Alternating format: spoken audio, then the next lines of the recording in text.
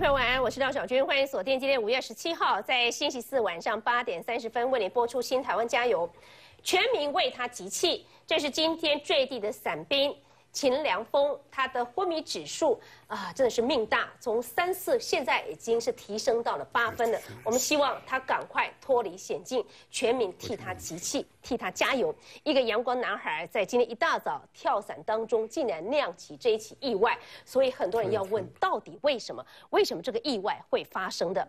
好，这是早上六点多钟，从画面当中你看到影片曝光了，当时民众在目击整个过程当中，这是地点在台中的清泉岗，当在执行。反空机降，那么反空机降的一个跳伞操演时，从一千两百五十英尺跳下时所发生的主副伞，现在很显然恐怕也没有开启的一个意外，因为正面直接着地，伤势集中在上半身，他的伤势现在是乐观的，可是呢，一度昏迷指数只有三，现在院方暂时不开刀，位于低温的治疗方式，希望他赶快。渡过难关。好，我们看到了这个伞具在全开的过程当中，为什么一排的伞具几乎都开了，只有它到最后它直实坠落？到底为什么？为你还原整个真相，因为现在也要全面进行调查。但是我们告诉观众朋友，因为这完全是因应汉光三十四号演习在下周即将要登场，所以这几天你可以看到全台湾各地通通都在做预演。我们的国军有多么？辛苦，在捍卫我们的国家，捍卫我们的主权。在此同时，也看到了汉光的兵推在这两天登场，这是熊三、熊二跟雷霆两千。为什么？这是完全在因应。在中国跟台湾现有的兵力非常悬殊，所以汉光三十四号演习，你可以看得出来新的武器、新的战略跟新的战术。那么国军在捍卫时所承载的压力，因为呢，为什么熊二、熊三的这种那么画面的曝光同时，虽然是兵推，但是它要验证我方在滨海决胜的三军联合作战的能力。虽然兵推当中再次验证。海军这种机动的通信的雷达车，包括配合熊二、熊三的机动发射车，分散在各地的隧道的内部。好，这是一个最新的情势，因为真的，呃，似乎中共告诉我们的是，今年极有可能会武统台湾。我们的国安单位也因应最新的形势，所以国军能够不提高戒备吗？可是为什么？如果是这样的一个情景的话，台湾有多少政客？根本在含糊其辞。哪些政客？台湾话叫做话干丢吗？哪些人呢？今天我们为你还原这个大现场，马上听听看。一分手之后，全面炮火全开，他轰的是谁呢？轰的是行政院长赖清德，他是柯文哲炮轰务实台独工作者，根本是个不责不负责任的说法。柯文哲全面开火的同时，到底传达出他即将走什么样的路线呢？来为您邀请到这几位关键性来宾，坐我右手边，国会观察基金会董事长姚立明老师。大家晚安。好，立法委员王定宇。小军大家好。以及资深媒体人周玉蔻。大家好。在我左手边，我相信在这一段时间，很多人看到他的努力。所有的候选人当中，在参选首都，依然打出 Chinese Taipei，唯有他。认为台湾的主权非常重要。如果呢台湾的主权不捍卫的话，两千三百五十万的民众，你怎么站起来告诉大家，我就是一个国家？如果我们就是一个国家的话，面对中共全面铺天盖地的文攻武吓，难道我们就是两个膝盖跪下来求他来对他进行投降吗？这场首都他怎么去打，怎么去应应？来欢迎姚文智。大家好。在我们现场当中，以及政治评论家杨世洲大哥，小军，大家平安喜乐。包括了两位非常专业人士，因应现在最新形势，包括非常遗憾今天发生这一起意外。那这是资深飞行教官于浩伟于大哥，你好，大家好。同时我们看到他也有非常丰富的呃伞训的经验，前陆军航空特战指挥部的伞兵少校肖定强肖大哥，大家晚安。来，观众朋友，一分钟来看今天这场意外的大现场。因为汉光三十四号演习，今天在台中的清泉岗基地进行预演，发生了伞兵坠落地面的意外。伞兵跳伞，伞花朵朵开，清楚看见第二位跳伞员，他的伞根本没开，呈现自由落体重力加速度。另一个角度也可以看到，其他人正在缓缓下降，只有他急速坠落。旁边的同袍只能听着他哀嚎。出事的是陆军特战指挥部秦姓上兵，重伤送医急救。八卦板上有民众贴出伞兵弟兄的伞不仅没完全打开，而且脚疑似勾到副伞伞绳。还原事发当时，这名特战士兵跳出 C 幺三动机舱，应该打开了绿色主伞，没有开，紧急拉开副伞，却看到白色副伞没吃到风，没完全打开，直接摔落，而且就发生在陆军司令王信龙面前。主伞张伞不完全，副伞吃风不足，所以造成呃直接落地的情形，就是包含了所有的装备、伞具。啊，还有气候、天候等等这些因素，我们都不排除。根据陆军航特部透露，这名特战上兵有十一次跳伞经验，算是老手，却发生伞包打不开的意外。副伞呢，受风力可能也不太足。不太足，那导致等于是半张开的状况，比较速度比较高的就落地。下个月初就是汉光三十四号演习，蔡总统还选在清泉岗试导跳伞，又称为连云超演反击降科目。没想到才预演就发生意外，而停在清泉岗基地的疑似就是出事上兵搭乘的 C 幺三栋。国防部长严德发下令成立调查小组，查明失事原因。好，我们看到画面曝光的画面哈，我们先从一开始所发生来，我请教是这个肖大哥，为什么会发生这一起意外？这次很在从镜头可以很明显的看到，他的伞主伞有打开，但是并没有完全打开。嗯，啊，从这个画面，啊，主伞有打开，但是没有完全打开。嗯嗯嗯嗯。是，这是大家一字排开，对，看起来都有打开，它的感觉是一个变成是个小黑点，对，所以你说它的主伞没有打开，对，那主伞没有打开，第一时间的反应不是要拉副伞吗？对，当当伞兵跳伞跳下跳下飞机，跳出飞机四秒钟以后，啊，检查四秒钟以后，发现伞主伞没有完全打开，就要立即拉开副伞。嗯哼哼哼，那他这个坠数。他到这个地方，我们镜头看到大概有十几秒，所以他在表示他在这个地方的时候，他有做拉副伞的动作。拉副伞动啊，好，然后呢？他主伞未开，副伞那个吃风不足，嗯嗯嗯所以表示他的副伞有有拉，但是吃风不足。是，呃，真正的一个正常状况是怎么样？什么叫做副伞吃风不足？是什么意思？因为副伞是在我们人的那个胸前的前方的腹部地方。当你拉开副伞以后，副伞会往往前弹开，但是因为它可能落数已经到一半的那个高度的时候，对，它可能因为弹那个没有完全弹出来，或是风能因素，嗯，造成它的副伞没有完全的再撑开。是主伞你呃主伞没有开，拉副伞的时候副伞还是没有敞开，没有敞开。嗯哼，OK，然后呢？但是它的主伞是，我先。介绍一下这个伞具好了。是是是，这个很重要。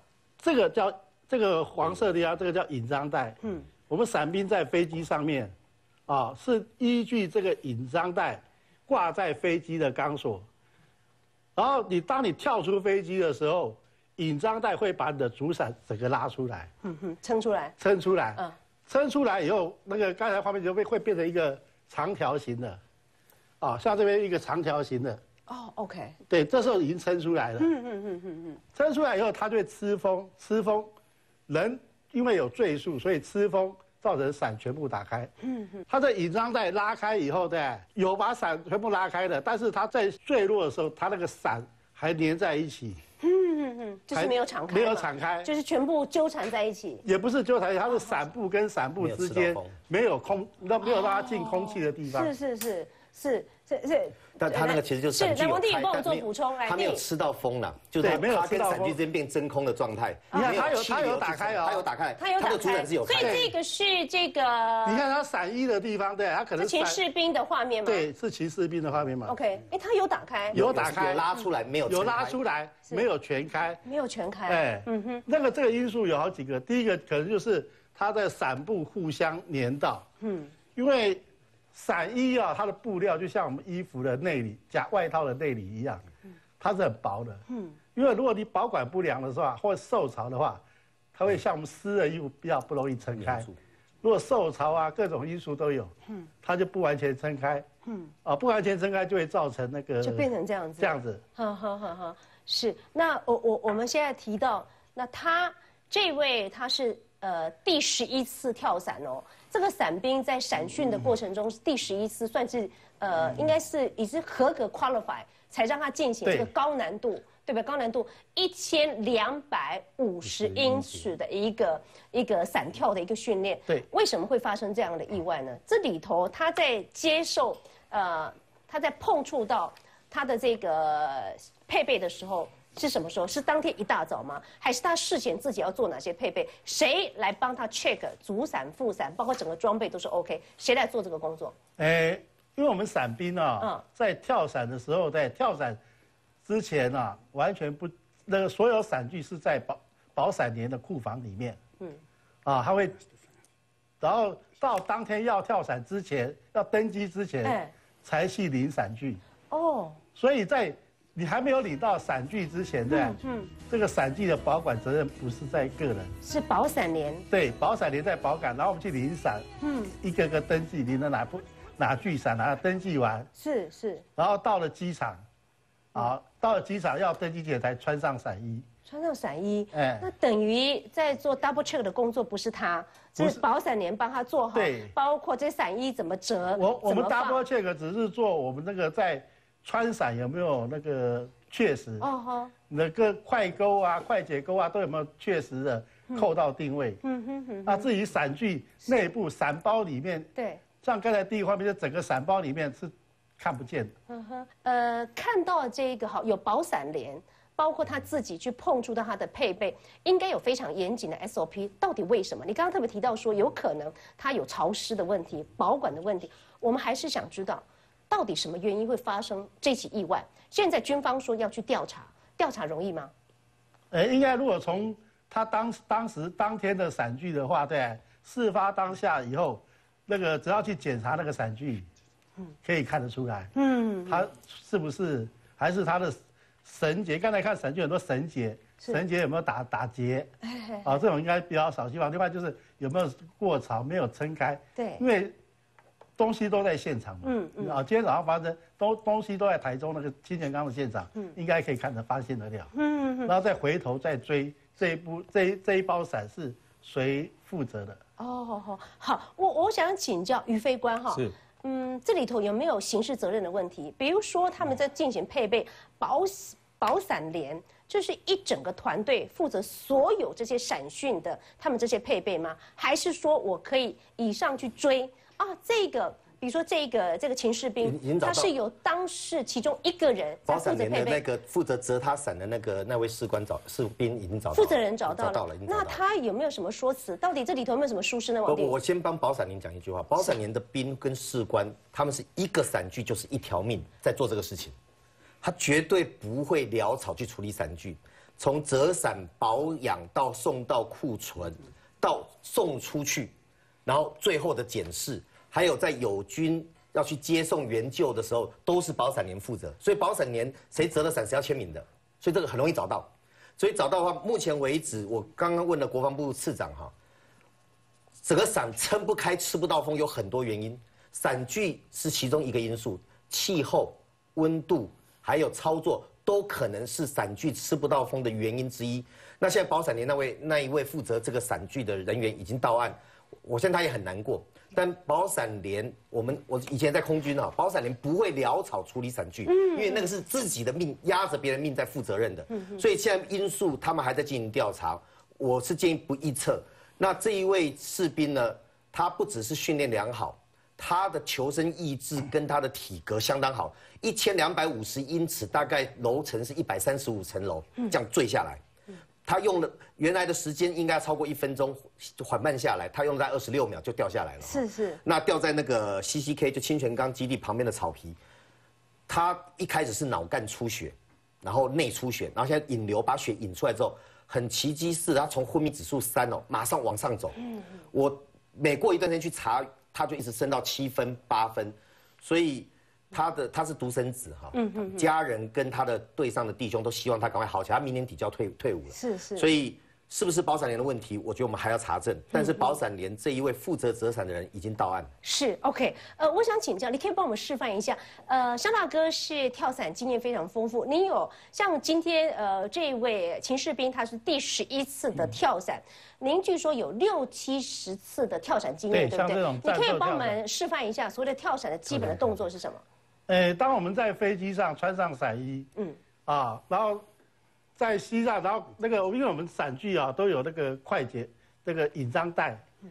我们听到那个快要快要跳伞之前，听到命令会把引章带挂在那个飞机的钢索上，嗯，啊，然然后依序排队，嗯，然后跳伞出来，跳伞出来，跳伞出来，跳伞出来的话，因为我们伞兵啊，就一直很强调那个四秒钟，嗯，一秒钟，对吧？所以我们有个动作叫姿势。好，我再示范一下姿势啊。像我们一般听到口令，姿势，对，一秒钟，两秒钟，三秒钟，四秒钟，检查伞，注意四周，准备着陆。那这时候注意这个双脚要并拢，因为双脚的所有力气放在双脚，当你着陆的时候才有那个支撑力。嗯嗯嗯。然后来滚翻，利用滚翻。安全着陆是是是是这样子，对，这是一个过程。嗯哼嗯哼，呃，所以于飞官从这起意外当中，您看到什么？好，小军，包含哦，我们空军来讲的话，我们也是有伞，所以它的伞出来的话，陆军啊，伞兵他的伞的用的次数比较多。我们空军伞的话，可能你要跳伞的话，一架飞机也没有了。但是呢，这个伞都有一个它的期限，就跟刚刚丁宇讲的一样，它的包装来讲的话，它有专人签名，所以这个这个士官长他一定会很难过。为什么？他这个人出事，他绝对不是要他愿意出事或刻意去害他。但是呢，出了事情的话，他是有刑责。所以这个伞刚刚讲过，他在包完之后，我们外面检查检查不到，包括我们飞行伞也是一样，我们背在上，我们没办法检查到外面。但是我们会看它的有效期间。哦，那在伞兵的话，我像我们同学也这样，他们也一定会检查他的有效期间，啊，有没有有没有问题？这个因为我们就说我们在使用人可以唯一可以做到的东西。但是我刚才讲过，那个包伞员绝对不会刻意把它扫烂包。但是有个问题就是，小英你刚才也提到，这个这个是上上兵，他三年只跳了十一次伞。对不对？等于说是四个月啊，可能都还跳不到一次伞，加上他的第一年是新兵训练的时候，可能都跳不到，所以他等于说在不到的三年时间，这个十一次伞，我是觉得对一个伞兵，你要，而且他是一个作战的伞兵，所以是有些落差性。什么叫落差性呢？就是说他在危机的时候，因为我们在空中，我飞行小时八千多小时，我在空中太多次时间。事实上，人当你出去到另外一个环境，特别是哦你不熟悉环境情况下，这种紧急情况，它次数太少。然后之后碰到这紧急情况，他会慌，慌的时候他再去开伞的时候，就是呃我们现在讲的，可能副伞的伞风不够，所以导致他的伞没办法冲起来。所以我觉得，当然伞兵一定会有他的一定标准次数每年，但是我觉得如果说现在西澳山那种飞机的妥善率也也不差，事实上伞兵。就要多加练习的情况下，你才会有这种经验。否则的话，为什么伞兵会多两个伞？因为伞兵他要经常跳伞，他的危险性绝对比我们飞行员高。嗯，像我一辈子哈，我没碰过跳伞，我们同学有碰过，对，所以用不到这个跳伞的这个这个情形。嗯但是伞兵来讲，他只要一出机门就是伞，所以第一个主伞没给他打开，就跟我们同学讲，一秒钟、两秒钟、三秒钟没开伞的话，检查不对后再拉副伞。但是如果说你的训练那么少的次数，十一次，导致我刚才讲过，你在不熟悉的环境情况下，你出去以后人一定会慌。你不要看玩了一秒两秒钟，它这个落地大概只有十几秒钟就掉地了。是，我们的人一定会迟疑，不像我们现在讲话，可能一两分钟过去。你这一迟疑的话，完了，你在开伞的时候，伞风又起不来。所以我觉得的话，这方面的话，国军啊应该要加强，因为我们如果没有飞机的话，上直升机也可以做跳伞动作。嗯，我们的兵力，飞机的兵力绝对够。你让伞兵哦，一定要要加强练，因为伞兵来讲很辛苦，他的最低跳伞高度可以到八百英尺，因为他在空中的时候，他跟一个鸟一样。敌人是拿枪就可以把他给击落，但是伞兵到地面上，他的战斗能力是很强的。所以你让他那么少的次数，结果我们的兵员就损失损失在空中，就把这个兵员损失掉，我是觉得很可惜的。是，所以呃，我想请教，这次高度是一千两百五十英尺，那刚刚特别提到十一次做这么高难度，似乎他认为这个次数是不够的哦。第一个，我想请教的是，伞兵这种演训发生意外的几率真的很高吗？那以你自己六七十次的一个跳伞经验当中，什么时候呃曾经你有遇到过主伞没开要拉副伞的情形吗？来，伞兵的几率高吗？意外的几率高吗？意外几率不高。不高。对。不高。那以你六七十次的经验，你有遇过主伞没开吗？我本人在民国七十六年的时候碰过一次。碰过一次。对。主伞没开。对。哦，那是什么样情形？那个后来检查那个伞具是，那个伞包跟引章带之之间的棉绳啊，嗯，没有没有，就是提早断裂。啊哈。啊，所以出来四秒钟的时候，当我数到四秒钟的时候，我就直接拉副伞。路发副伞就拉了。直接拉副伞，然后是背着主伞着陆，但是因为拉着副伞，副伞在前面，是很用力的把它。撑正以后，嗯就是人睡往后倾，嗯所以是后背着陆，跟主伞一起着陆。是是。然后主伞在背后等于是一个保护垫。哦。所以着陆的时候，呃，没有重大的伤害。哦。只有副伞整个开的。嗯哼哼。他这一次是主伞，主伞没开，他的副伞也没有完全开。也没有完全开。所以他的落数相当大。他这个落数可如果说依照它这个伤势的话，大概是大概五六层都六七层都。跳下来，因为我看这个物理老师说，它的撞击力道宛如像是被高铁撞到一样，对，那个速度也很大。比高铁最后最低是六百公里，六百公里。他一百七十七公分，体重七十一公斤，是。他那个状态掉下来二十六秒哈，啊，他说算起来大概是六百公里。六百公里，高铁没有跑那么快。是，我再补充一下，因为我那次很幸运，那时候我是因为当裁判官，嗯，啊，所以我没有带装备。哦，你没有带装备，轻装，算是轻装。所以我那次很幸运。啊，那这一次他们是演训。那这一次呢？他们是演正式演习的话，他在训练的时候，他这就不晓得他有没有带装备。他装备包含他的背包，对，他的枪支、他的武器，对，或者他的那个通通信器材。是是。那这整个伞包在前面，那个重量很重，甚至比你人还重。对。因为带的不同武器重量不一样。哦哦。会增加这个这个落数。是是是，OK，呃。一千两百五十英尺，大概四百多公四五百公尺，四五百公尺，而且是一百多的层楼，几乎是它比一零一一百三十五层，一百三十五层比一零一还要来得高。这个算是低空跳伞。你知道这是因应汉光演习，但是台湾现在所面临的威胁是什么？国军非常辛苦在捍卫我们的国家。你如果看到最近在福建的沿海央视所播放那个画面呢，装甲车。怎么在进行所谓的海训？你也看到我们的国军在怎么进行因应，可能在二零一八会解放台湾、武统台湾。国军所承受的压力发生这样的意外，我们真的觉得非常难过。大家全民帮他集气，同时在看这个 VCR，回到现场当中，台湾的政客可以允许有人含糊其辞，走一个中间被认为是中间路线，这真的是白色的吗？还是道道地地就是红色呢？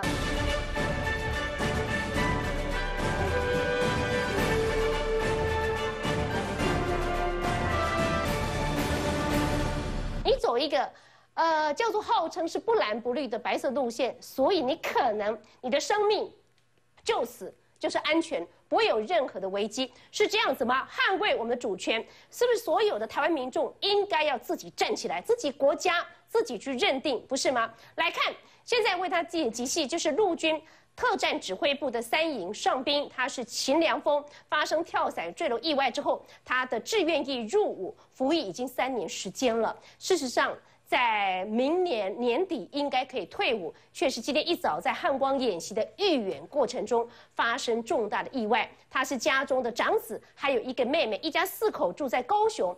他放假常常回家，十分的孝顺。我们来看他现在最新状况，也全民替他集气。马上回到新台湾，加油！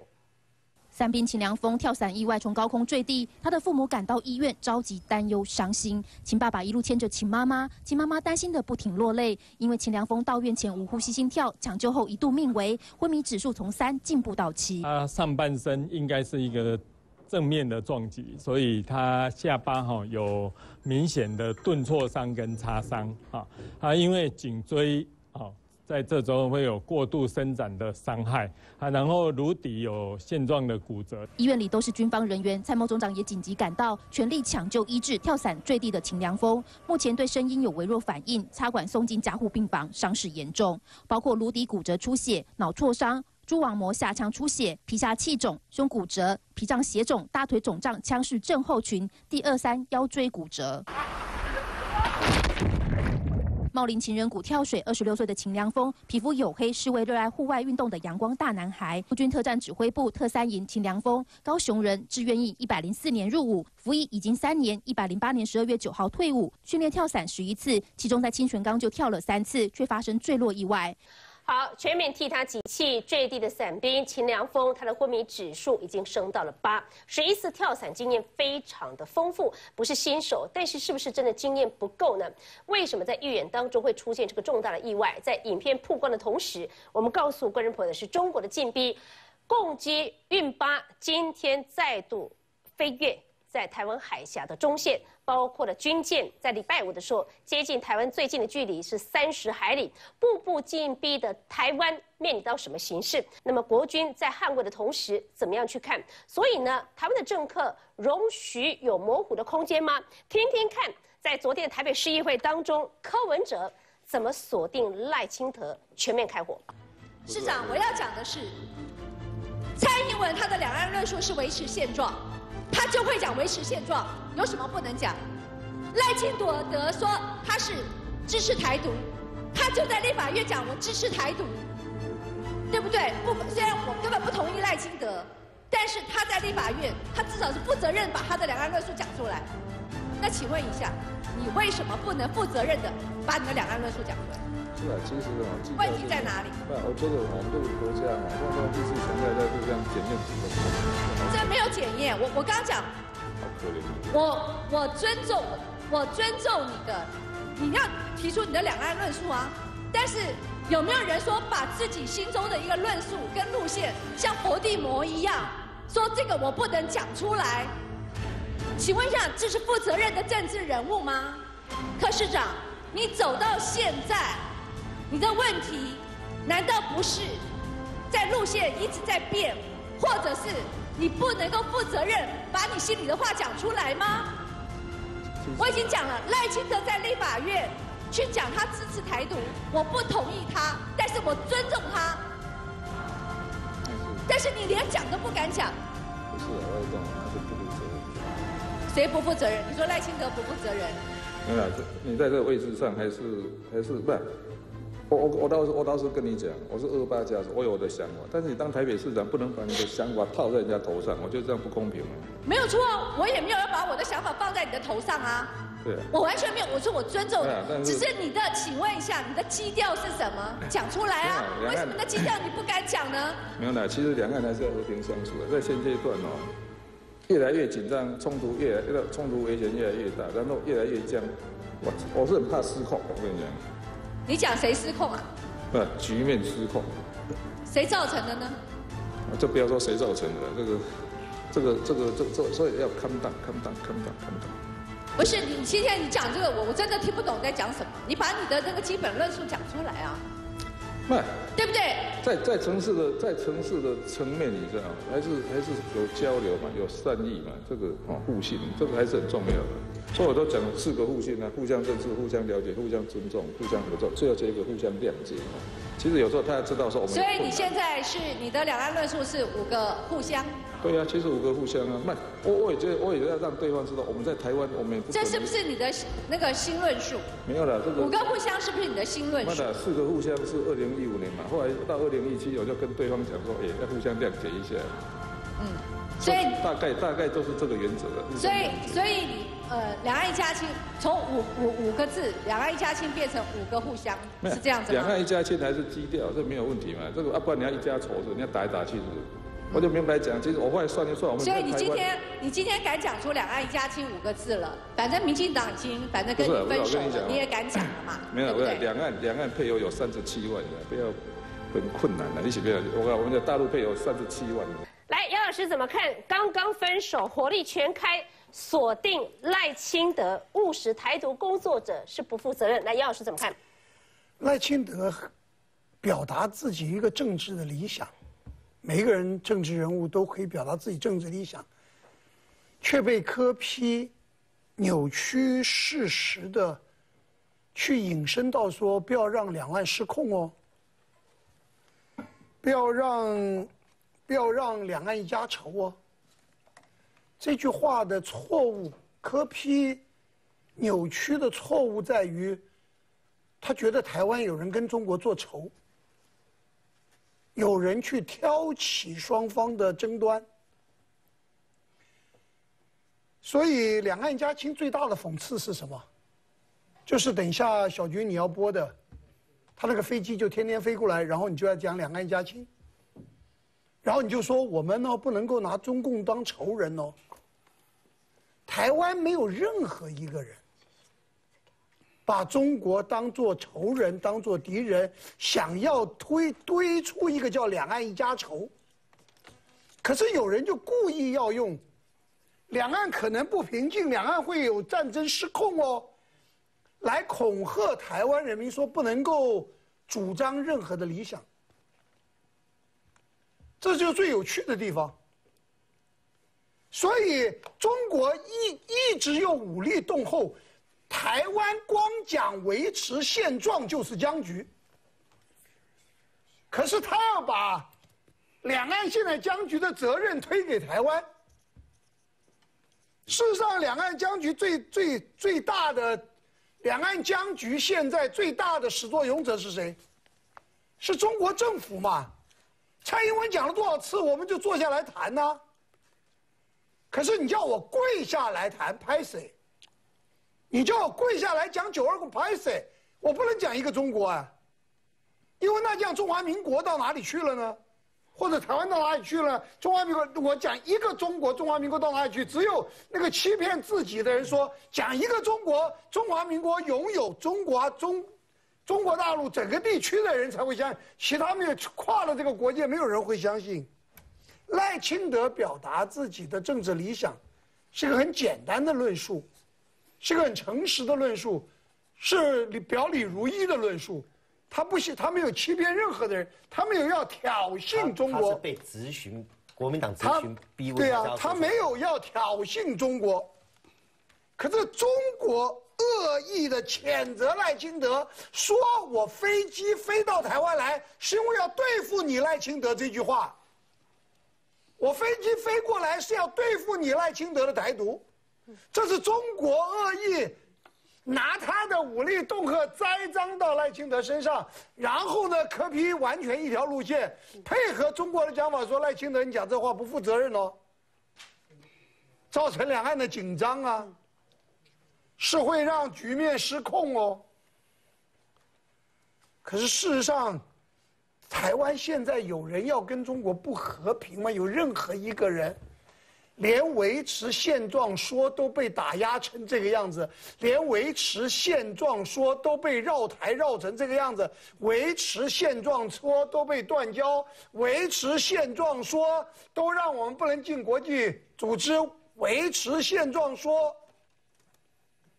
他可以在所有国际的场合、民间的场合，我他甚至于可以打压我们台湾本土的社团的一个戏剧，他可以不要让他播。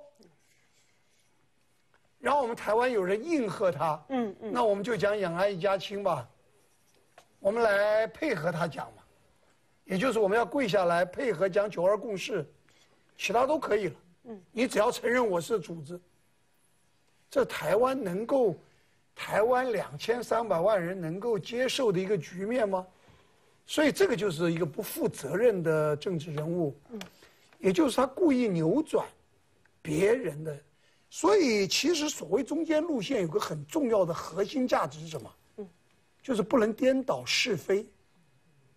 人家赖清德讲一句话，你要把它扭转是非。嗯，他是表达个人理想，你把它扭转成为挑衅两岸，这个不是中间，嗯，这是邪恶，嗯，这是蓝绿都要谴责的扭曲，嗯，所以我觉得，民进党决定自己提名以后，柯文哲 放开来，放开来。就是把自己的真面目显露出来。这个说辞怎么跟我前阵子在播国民党的立法委员在立法院质询的好像哦？就是啊。难道绿的票要不到之后啊，可能全面去吸收蓝营的票吗？这是柯文哲现在的路线吗？我请教是姚文智哈，在四二二，很多人因此感动。那感动的背后是看到，呃，你有别于其他参选的人，你所喊出的是 Taiwan Taipei。嗯，以台湾来讲，维护台湾的主权、维护独立主权，不是台湾民众应该要做的吗？维护一个国家的主权，不是两千三百五十万民众都应该做的吗？如果呃，我们的行政院长赖清德他说我是一个台独工作者，被柯文哲认为这是负不负责任的说法。那依照中国的眼里，两千三百五十万人是不是都是台独工作者？我不知道。两台湾面临这个形势，你看到共机今天好再度运八机又出现了，不用说前置的军舰，上周五距离我们就有三十海里。请问一下，台湾的政客允许可以含糊其辞吗？可以安呢挂干丢吗？来怎么看？其实我我先讲一下。赖赖院长啊，赖院长的办公室啊，有一个李总统送他的一个这个瓷器，上面写“诚实自然”。我觉得他是在行政院长这个位置上啊，第一次非常清楚的诚实自然表达他的政治理念，啊，他一生奋斗的这样的一个目标啊。那这当然是包括台湾价值的的维护，还有台湾主权。啊，怎么样？我们共同凝聚国人的意识。他在他的岗位上非常清楚的表达。那我觉得，在整个台湾历史发展上啊，终于在行政院很清楚的表达这样的一件事情。坦白说，他是实践了台湾这么多年来民主化，我们对主权的坚定的的守护，以及民主、人权、自由，尤其是自由。啊，我们终于，我们终于在那样的一个位置上。非常清楚的表达台湾人民的意志，那这个意志啊，并不是说不务实的，并不是意识形态的，啊，而是一个我们衡均衡我们的国际处境啊，然后我们努力去追求我的目标。所以，其实我在四二二游行的时候，我现在穿这件 T 恤，啊，他是一个他是一个直男选手，Davis，他他给我的启发。因为他把他的 Chinese Taipei，他有一天代表 Chinese Taipei，他把它脱掉，他自己自己做了一个台湾台北。我想作为一个作为一个他是规划的台湾人啊，他喜欢台湾，但是他在国外成长，他看台湾非常的清楚，台湾就是一个国家啊。那我们过去因为外交的困境，我们被叫做 Chinese Taipei，我们才能参加国际的运动赛会，我们才能参加国际组织，这台湾人知道。但是久久我们就我们就忘了。我们忘了，其实我们就是像台北，就是台湾台北，啊，Davis 记得，所以他把他把他的的想法很很清楚的表达出来。当然，他表达出来以后，据说啊，他的他他就遭到这个球队啊哈，希望他以后不要再这样子做啊。他前面好像是不知者不罪，啊，但是他的不知者不罪其实是非常清楚的表达我们应该要追求的方向，啊，也就是说我们并不是。昧于现实，呃，说哦，我们我们现在就要加入联合国，我们是台湾共和国，不是，我们是知道我们的处境，啊，非常困难，但是我们要保有那样的一个价值跟信念，哦，维护这块土地主权的完整，跟实践我们这里的所有人民共同建筑起来的这样的一个价值，能不能实现？所以作为一个政治人物，尤其像首都的市长。他当然要站稳这样的立场，很清楚的告诉大家说，我们要追求的方向是在哪里，啊，那如果不是，这我看到，我看到，我看到的其实是一个是一个价值的反复啊。坦白讲，这个赖赖院长也不是昨天才讲啊，也不是这个月才讲，嗯嗯，他讲了很久了，是。他在台南也讲啊，嗯，啊，那柯市长不是说，那个讲的不对要举手吧？今天被你今天被你说，呃，不负责任啊，而且而且造成局势啊非常的紧张，那你怎么当时不举手？奇怪了，奇怪了，你就好像无关宏旨的，你在这个跟台北市无关的，人家中南部要要编这个前瞻基础建设预算的时候，你再举手，那你这个怎么不举手？嗯嗯嗯，那又倒过来奇怪，那大家大家请你。把你的台湾价值说清楚的时候，你又说这个不是我的考卷，啊，你又不想几几次都不愿意回答，是是，啊，那等到民长要提名的时候，呃，你上电台，啊，结果你出来没三小时，啊，因为，呃，有报纸本来最支持你，跟你站在一起的报纸狂骂你三篇，啊，结果你马上澄清，而这个澄清，台国台办非常清楚的都看到，这很奇怪，是，啊，就是说。在价值的错乱当中，我们还看到了另一个呃更耐人寻味的的一个现象，就是，嗯，好像距离台湾价值比较远，嗯，要脱口而出，要讲出台湾价值，对你来说是困难的，是难以启齿的，啊，那有人真正去很诚实自然的表达台湾的台湾的意识以及他自己从政的信念的时候，那你说他不负责任，但是呢，另外一边却又看到，却又看到两岸一家亲底下啊，你虽然遮遮掩掩，但是但是一被一被注意到你背离了那个两岸一家亲的时候，哎，你必须赶快澄清，你必须赶快呼应，然后甚至在整个选举局局势改变的时候，哎，你又立刻调整。其实我们真的看到，看到最严重的是一个不断的反复啊，一个不可信任啊。那坦白讲，那个比你刚刚说的霸霸干丢是。哦，恐怕又又更又差一级哈。呃，我今天看到陈小怡哈，陈小怡应该是自由时报在市政组方面非常优秀的一个召集人跟媒体人。他呃，我因为为什么刚刚姚文智这么让我想到他今天有一篇特稿，他说呢，其实分手非一日之寒。他提到诚信的问题，还有呢提到什么柯文哲藏起来选择性的是非。好，呃，遇到这些问题，要么就怪中央执政，好，怪小英，怪赖清德，怪名嘴，怪雅斯伯格症。好，陈小怡的这篇报道，我觉得是目前为止一个媒体人当中很精准去看出，事实上绿营、民进党跟柯文哲分手非一日之寒。那问题来了，那么请教是王定宇，请问一下，柯文哲还是白色的吗？请问一下，台北市政府的事务。跟两岸一家亲有什么关系？台北市政府的事务跟床头吵、床尾和有什么关系？来，王定宇。我当我们听到说哦，两岸的和平互相在破坏的时候，我们的国军弟兄为什么要汉关三十四号演习？我们只有保护自己。我我我们在参加一个世界卫生大会，健康医疗不能参加的只有我们的中国，中国没有被我们挡下来。我们的邦交。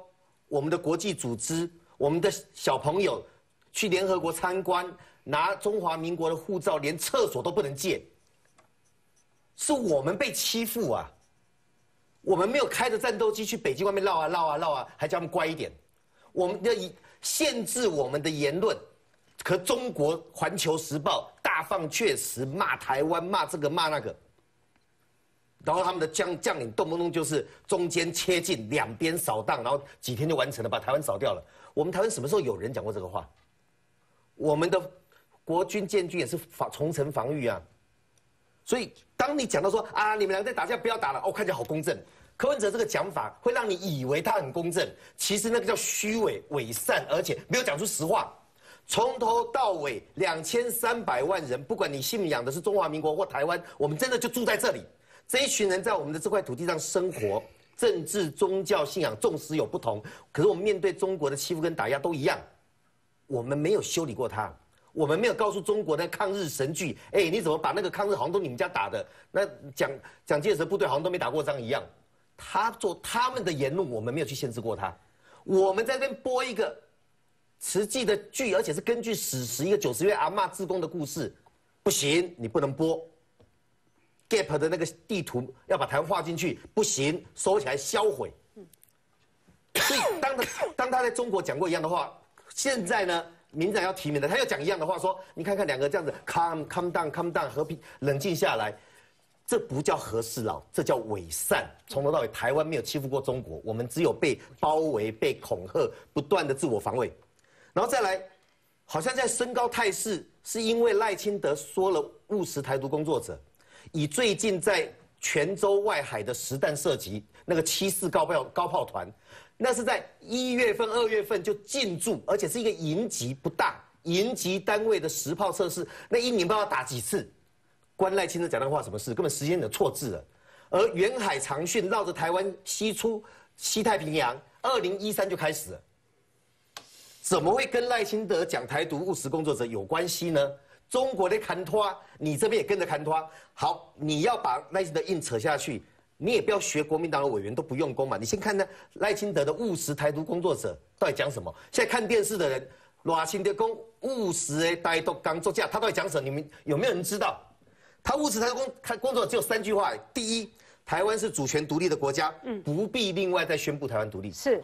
第二，台湾前途是两千三百万人决定；第三，我担任行政院长的工作就是发展经济、壮大台湾，让国人选择台湾、支持台湾，这就是我务实的地方。这三段哪里讲的不对？那这三段两千三百万民众不是都是台独工作者？严格说起来，那台独工作者呢？我们用中国的反分裂法标准来讲，主张中华民国台独工作者反分裂法要办，主张台独反分裂法要办，主张维持现状不跟你和平也是反分裂法。只有几统台湾大概就张安乐那一群大概没事而已，我们这里全部都是。所以，当柯文哲用一个话术好像合适了，讲到好像很公正的时候，他却悄悄的站在三趴那边，在质疑九十七趴的人。所以，我是觉得，一个聪明的、一个务实的外科医生，应该要确认那个病症、病状再讲话比较好吧。嗯。然后最后我要讲的是，现在我们在台湾这里选举，每个人都有不同的主张。今天蔡英文总统讲了一句话，说：“哎，你明道为什么不礼让柯文哲？”他回过头。有没有人可以告诉我，我们选举到底是为了什么？今天我们三个参选，选举是为了什么？嗯，就是每一个人有所不同。我用我的主张跟信念，诚实的让选民知道，他去选择他愿意让你假耶涛喽服务四年，你去做。如果两个人明显的不同，还可以和在一起让你选择，这不叫民主选举。那柯文哲的不同，从他。一旦民进党决定要提名了，他设限定的战场就是往赖清德、两岸一家亲开始讲。我先不讲他不诚实，就射箭战场大概就这一块了。那所以，我我必须要提醒柯文哲说，你好好看一下人家的务实态度工作的舍是什么。你也不要以为民进党就要提名赖清德跟你选市长了，他其实脑脑袋里面想的是这一块。就像他去年波代波奇，你在台北当市长，高雄关你什么事啊？哎，高雄财政有问题，我们南部听得很气耶。我们南部长大的人，我们缴的税一样多，重大功能建设都没有我们的份。我们要背着 PM 二点五的污染，然后火力发电厂北部还可以炒一炒，炒那个深澳那个这个超超发电机组，我们南部都是亚亚界亚临界发电机组。嗯嗯嗯。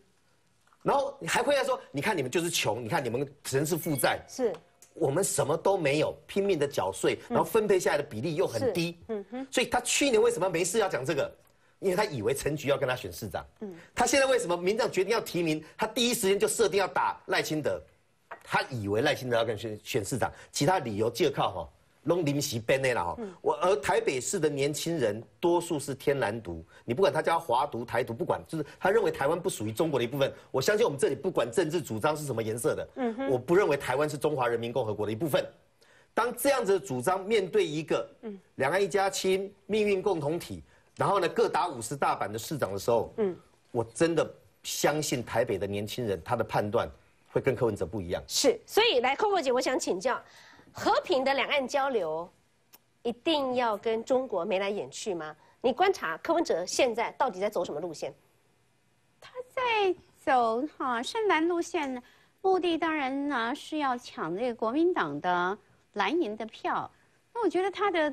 战略上是十分错误的。他昨天在市议会这个答询，啊的结果，应该让民进党内的礼让派非常的汗颜，因为在昨天早上哈，民进党做成不礼让柯文哲要自提人选的决定之前，民进党内还有少数人透过放话，透过哈公开的这个评论，认为应该礼让给柯文哲。可他下午在市议会这个答询，完全就揭露了他的。那种这个刚才姚老师所说的，他那种邪道的、扭曲事实的，而且歪曲议题的核心的本质嘛，那也就是让昨天民进党选对会跟中常会决定自提人选这件事情，立刻在一夜之间得到了至少民进党支持者跟绿营支持者的掌声啊，才发现原来我们做的是对的。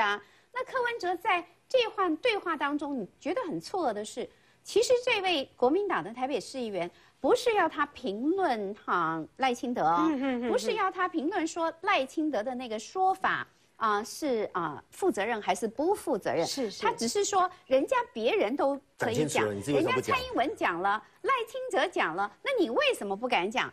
结果他就在一一团这个人家这个啊隐市议员很清楚的逻辑之下，他突然听到赖清德台独务实工作者，他立刻就说是不负责任。哦，我觉得他这个原来王宏威真正不是要让他去评断赖清德，看起来王王宏威是让他表态两岸一家亲啊，那他又说他是基调，那两岸一家亲是基调，你又说两岸会失控，那两岸一家亲。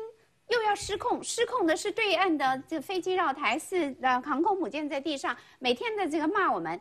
那到底失控的对象是谁呢？你这种扭曲事实的做法，你以为网络上的那些网友们都是白痴吗？他让这个议题开始被大家检验，开始被大家认识，就会发现原来造成失控的不是蔡英文呐，也不是台湾人啊，当然也不是你柯文哲，是。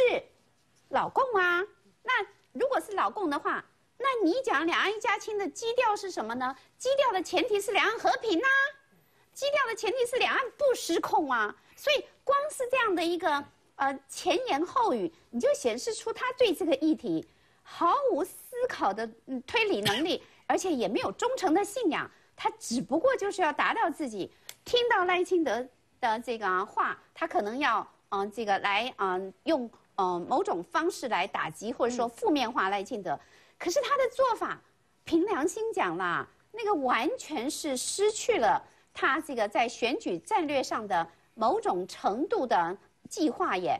我不知道他的目的是什么。嗯他这个话会让绿营的跟泛绿的，甚至于浅绿浅蓝的人集结，因为刚才定宇说了。赖清德说的话跟马英九说的话其实没有很大的差异。我的意思就是在马英九想选两千零八年总统的时候，马英九在一九九八年选台北市长的时候，由李前总统把他拉起手来说他是新台湾人，喝台湾水，吃台湾米。两千零八年的时候，对赖这个马英九还曾经开记者会批判过这个温家宝当时的总理对于新疆呢的镇压。那他那个时候讲的是什么？台湾是主权独立的国家呀，然后这个名字叫中华民国，不必宣布独立啊。赖清德的这个说法，有两千三百万人决定，对呀，这都一样啊。那赖清德的这个说法，就是天然独，生下来的时候的一贯的信仰，就是现在的中间选民中道力量。白色力量的信仰啊，嗯，那在他们所释出的讯息说，中研院最近有一个报告说，很多人啊，这个是属于中间选民，那他们对两岸的看法，不就是赖清德的这个主张的看法吗？嗯哼，所以。所以中间选民是没有国家的概念，是不是？中间选民是没有国家主权的概念吗？中间选民大部分的人认识维持现状，但是这个国家叫中华民国。你去问中间选民，他要支持这个宣布独立或是支持统一，一定是少数又少，而且几乎可以说是零。这才叫中间选民。这也就是蔡英文总统维持现状，说能够当选总统的一个很大的原因嘛。那柯文哲自以为他用这样的批判。他可以去拥抱深蓝的选民吗？我觉得他真是愚蠢至极呀！我自己是出生于一个蓝营的家庭啊，蓝营的这个人士对于国民党这个标志的认同，在选举的时候，通常还大于绿营的人士嘞。那柯文哲他向蓝营靠拢，他去跟国民党争选票的结果，会让。绿营的这个板块从基本盘的二十五趴、三十趴继续的往中间靠拢，那我觉得这是民进党跟民进党的提名人未来应该努力的。